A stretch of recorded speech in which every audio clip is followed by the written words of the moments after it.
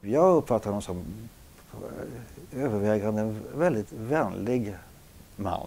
Trevlig farbror var, var han. Eh, en gång fick han ett, ett, ett vredesutbrott för någonting som inte fungerade. En enda gång. Jag ska få på mig en klänning och de här dvärgarna i hotellrummet. Ja. Och den här klänningen skulle ha ett blixtlås i ryggen. Och det fanns ingen blixtlås sen när det skulle spelas in och då gick han i taket. Men det gick över väldigt snabbt och sen var det puttrigt igen och sådär. Pluttrik kallade han mig för övrigt.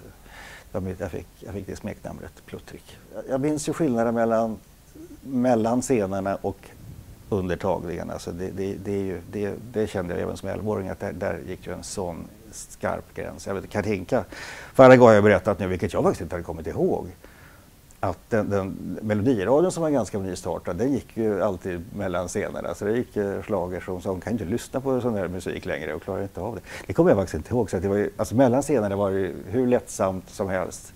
Men så fort det närmar sig en scen, då, då, blir det ju, då blir det allvar. Och det kände jag ju också. Då, då är det liv och död. Då är, då är det så allvarligt.